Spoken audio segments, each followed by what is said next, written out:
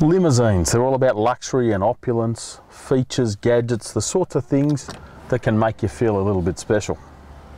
But this one adds a bit more to the equation.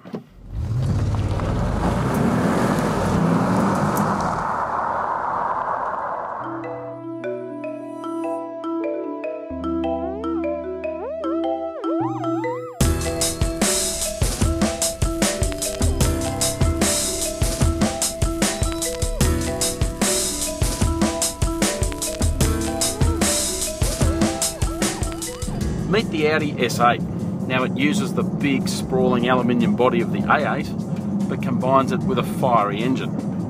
And that means it's no slouch. In fact, anything but. You tramp the accelerator and it'll get to 100 kilometers an hour in 4.1 seconds. And that's seriously quick motoring for a big limousine like this. And it's all thanks to this, a 4 litre twin turbocharged V8 engine that dishes out 382 kilowatts.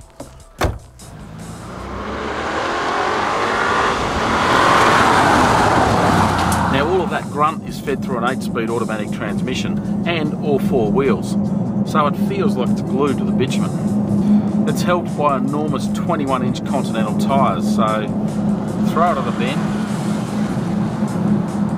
it does sit down incredibly well. It's also really quiet and really smooth, which I guess you expect when you're paying about $300,000. The other thing Audi's done a great job on on this car is the combination of the ride and the handling. So it does hang on brilliantly.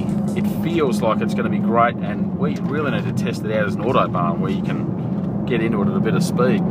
It rides on air suspension and does a pretty good job of picking the bumps and sorting them out but at the same time it feels more than up to the sports sedan duties. One of my only gripes though is the engine sound. It's a little bit too muted. You've got this big hefty V8 working away pretty hard and yeah you can hear a bit of a burble outside but I want more of that raucous inside. In other ways though I love the subtlety. Often there's a temptation with a high performance car to throw wings at it and make it look all lairish and garish but this one's a little bit more subdued. The S8's also got some pretty tricky technology. All the sorts of gadgets and crash avoidance that you'd pretty much expect at this sort of level. So things like lane departure warning, blind spot warning, auto braking, uh, head-up display, satellite navigation with Google Maps incorporated into it, uh, Wi-Fi for the car, you name it, it's pretty much on it. But it's also got one of the fanciest pairs of headlights in the business. There are 25 LEDs in each light, and there are sensors looking at what's coming towards you. So basically you leave it on high beam all the time. It then blocks out the LEDs that won't blind the car or the person or whatever it is coming towards you. Now that's pretty clever stuff.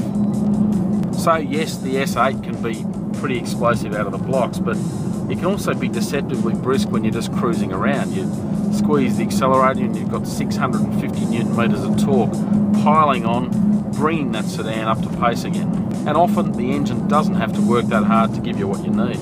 But you pay for all of that. Think $279,000 plus on road costs and whatever options you want to throw at it. There are plenty.